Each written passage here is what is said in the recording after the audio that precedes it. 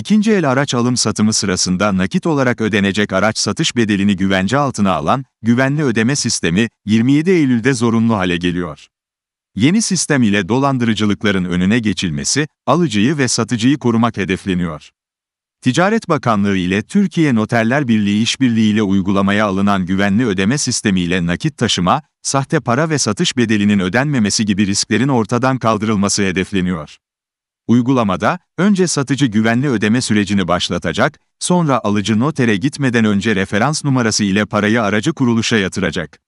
Yeni ruhsatın çıkması yani satışın onaylanmasının ardından güvenli hesapta bekleyen para anında satıcının hesabına geçecek. Güvenli ödeme sistemi aslında çok karmaşık gibi gözüken e, ve yapması aslında çok kolay olan e, hem alıcıyı hem satıcıyı güven altına alan e, güzel bir sistemdir. Bu sistem geldi ve şu anda araç satışlarında dolandırılma ihtimali gibi bir şey kalmadı.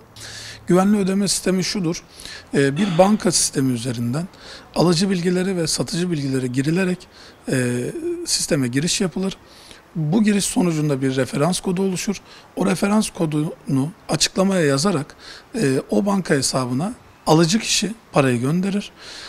Devamında e, banka para kendi hesabına geldiği zaman satıcıya e, şu şu referans numaralı satışınıza istinaden para bankamıza gelmiştir. Şu anda siz güvenle satışınızı verebilirsiniz der. Daha sonra satış yapılır. Satış alıcı kişinin üzerine geçtikten sonra yeni ruhsatı çıktıktan sonra satıcı tamamen üstünden araba diğer tarafa geçtikten sonra banka e, satıcının hesabına parayı atar. Burada e, insanlara çok e, karışık bir sistem gibi gelir bu.